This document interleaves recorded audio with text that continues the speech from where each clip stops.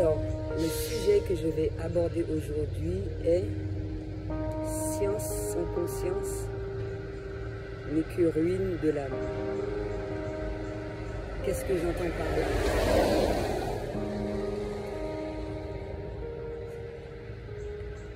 C'est la conscience qui fait le tout.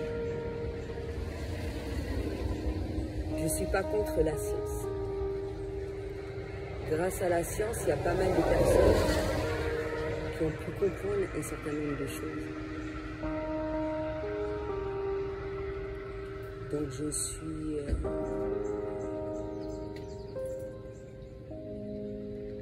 J'accepte euh, la science, la conscience, mais l'un ne va pas sans l'autre. Trop de science tue la conscience.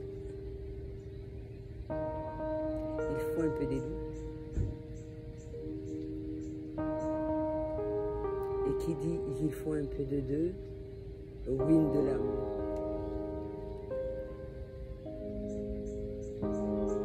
L'un ne va pas sans l'autre. Et à travers ça, il y a l'évolution. Conscience, science. Et, il peut y avoir conscience sans accepter les gens qui sont dans la science. Il faut intégrer la conscience.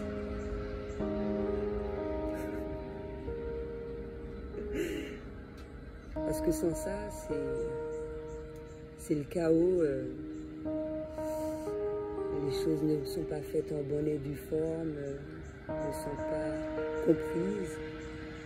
Et ça empêche l'évolution. Parce que on est venu ici-bas pour évoluer? Et quand je parle d'évolution, c'est pas évolution physique, évolution de ce qu'il y a dans le cerveau. C'est l'évolution de l'âme. Et beaucoup ont tendance à oublier ça. C'est l'évolution de l'âme qui permet de comprendre le tout. C'est l'évolution de l'âme qui te permet d'être face à un certain nombre de choses, toujours et encore plus. Mais encore une fois, un certain nombre de personnes essayent de brûler des étapes. Ils pensent aller à la case finale sans pour autant passer par un certain nombre de choses. C'est comme pour un sportif. Tu décides du jour au lendemain de faire, euh, je sais pas combien de kilomètres, euh, machin, ou de mettre un certain, euh, sur une, euh, donc de courir sur une certaine distance un certain nombre de temps, tu t'entraînes pas, tu ne travailles pas sur toi physiquement, etc., etc. Qu'est-ce qui va se passer? Tu vas brûler.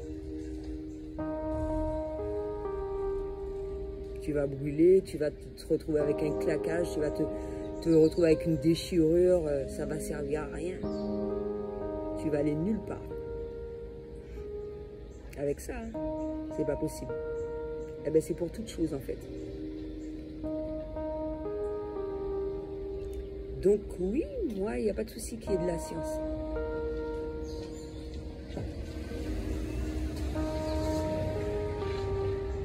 Il faut qu'il y ait de la conscience. Parce que c'est grâce à la conscience qu'on peut intégrer de plus en plus de science, mais également de faire évoluer son âme.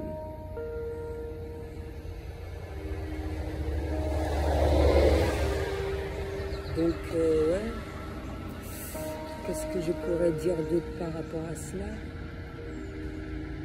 Et la majeure partie des personnes sont axées sur ça.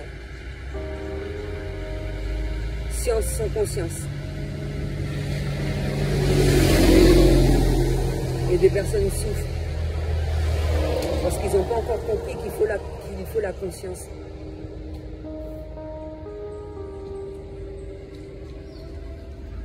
Et conscience sans science, ça va Conscience avec science, c'est bon.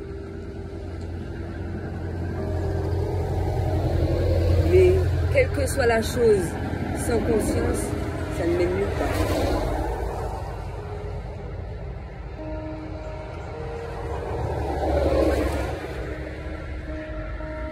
Parce que ce que beaucoup ont tendance à oublier, c'est que c'est notre... On est là pour l'évolution de l'âme. La science, c'est déjà là. La science est déjà là.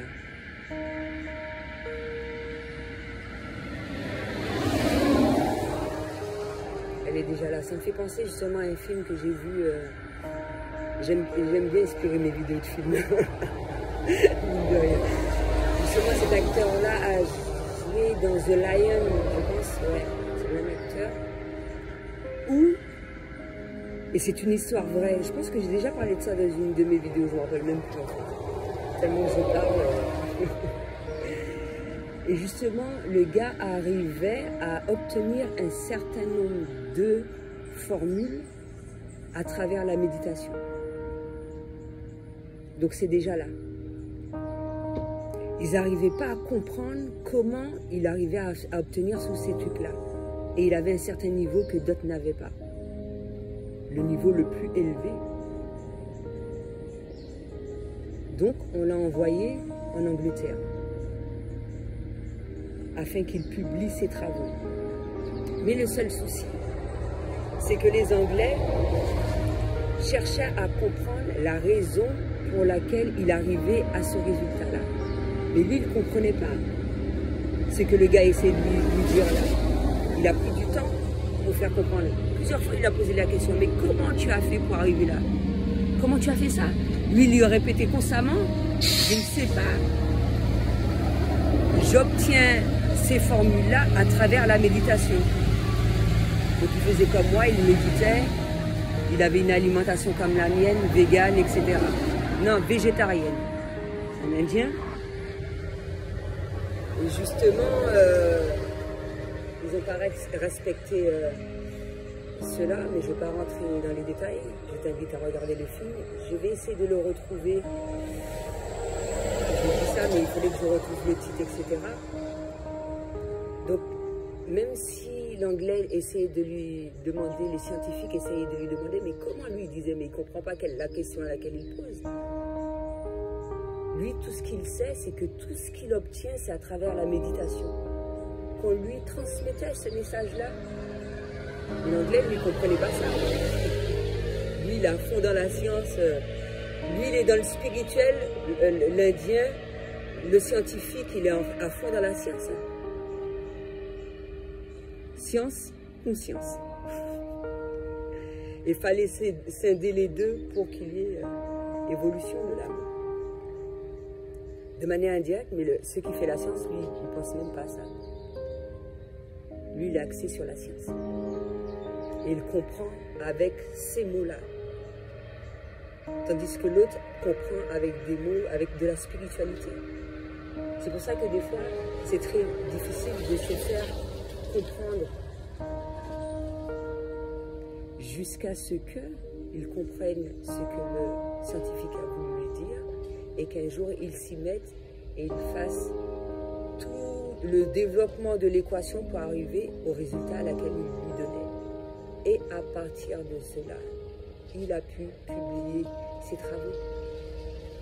Donc vous imaginez un peu, et c'est une histoire vraie.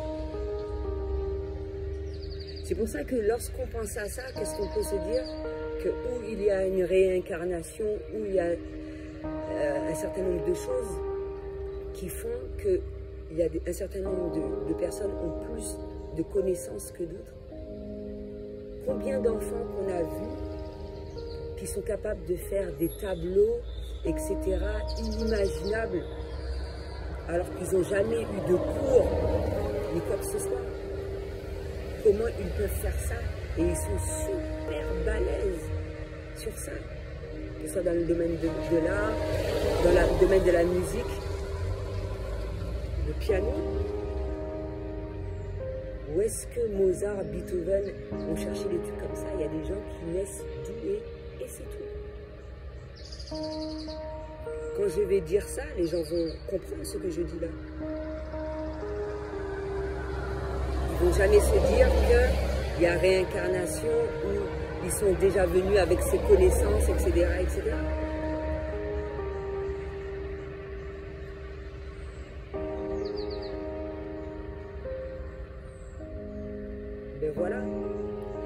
ça que je dis que tout le monde est intelligent. Ce sont les gens qui n'utilisent pas leur intelligence au plus haut point. Et qui dit le au plus haut point, c'est pas dans la science. C'est pas en prouvant aux autres qu'on a des diplômes. Moi, ça ne m'intéresse pas. C'est pas ce qui fait, c'est pas un diplôme qui fait que je suis plus ou moins intelligente que quelqu'un. J'ai pas besoin de montrer ça aux gens. Moi, je sais de quoi je suis capable de faire. Les gens été habitués à prouver aux autres qu'ils font un diplôme pour montrer que... Parce que comme je l'ai déjà expliqué, tu obtiens un diplôme, il y a différents critères que tu, que tu n'obtiennes pas ce diplôme-là. Tu peux déchirer durant toute une année et puis au moment de l'examen, tu es en plein stress, tu Ça ne veut pas dire que tu es plus con qu'un autre. Pour moi, c'est un petit peu ridicule. Et c'est ça le truc. Et c'est pour ça que c'est important pour un enfant d'être épaulé du début jusqu'à la fin pour l'obtention, pour ceux qui souhaitent obtenir ce diplôme-là.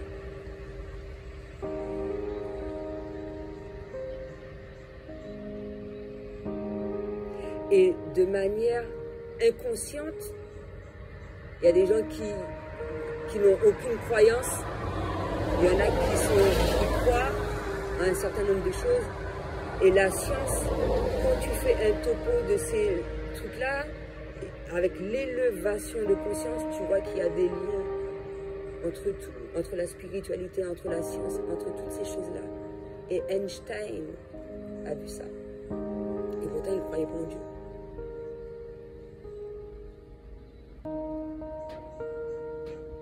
Mais la manière dont il va l'expliquer, ce sera d'une manière que peut-être certaines personnes ne comprendront pas, d'autres vont comprendre à travers euh, la spiritualité.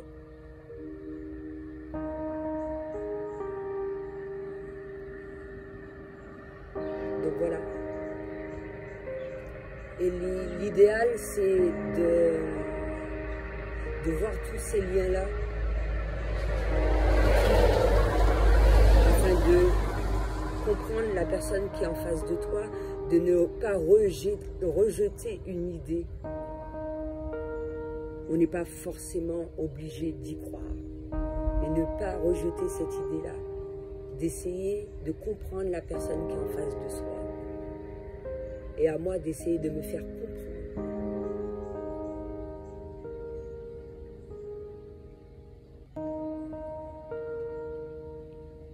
Et c'est en se comprenant que toutes ces choses-là se mettront facilement en place. Chaque chose se crée, etc. etc.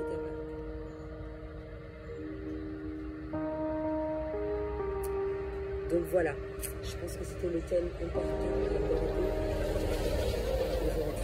En tout cas, mon approche vis-à-vis de ça. C'est pour ça que je dis qu'il y a des choses qui ont déjà et qui sont là, qui sont déjà là. C'est pas nouveau ça. Il y a certaines personnes qui voient ça à l'heure actuelle, mais c'était déjà là. C'est comme il y a des livres que je lis, je dis qu'il y a ouverture de conscience encore plus en accéléré à l'heure actuelle, mais il y a des gens qui étaient déjà au courant de ça. Et qui transmettent ces messages-là à partir de livres, à partir de de la musique, à travers l'art, à travers euh, des supports, euh, voilà, des films aussi. Mais ça a toujours été. Là, ça se fait encore plus avec le net, etc.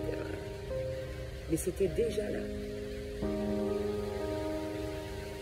Et que peut-être que toi, tu avais une approche d'une phrase, tu avais l'approche d'un livre de telle, telle manière, avec tes croyances, avec ta perception de la chose, mais avec ton évolution personnelle, tu vas, tu vas relire un livre, tu vas revoir un, panneau, tu vas revoir un certain nombre de choses, tu auras une, une approche totalement différente selon ce que tu vas vivre dans ton quotidien, etc., selon le travail que tu vas effectuer sur toi. C'est comme ça que ça se passe.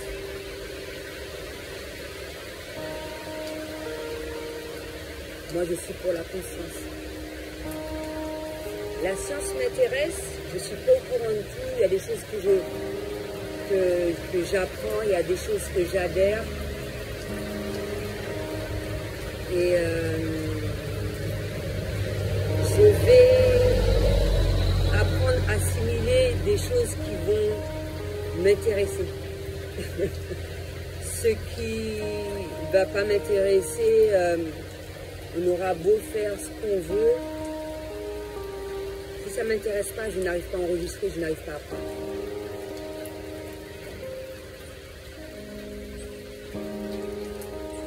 mais je suis toujours en quête de, de comprendre, d'apprentissage, etc., etc. Et, surtout de savoir comment les gens comprennent les choses parce que ça, depuis toute petite, je sais que les gens ne comprennent pas comme moi.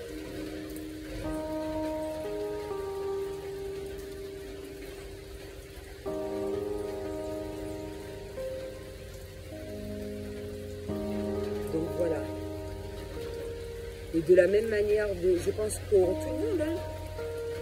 c'est pour ça que je l'ai déjà dit, hein. il y a des livres que je garde précieusement, qui, j'estime, euh, je me rappelle la, première approche de conversation avec Dieu, euh, il y a beaucoup de choses à laquelle je n'arrivais pas à comprendre en fait, j'avais du mal. Je l'ai relu, c'était un petit peu plus clair. Je l'ai revu, encore une autre approche.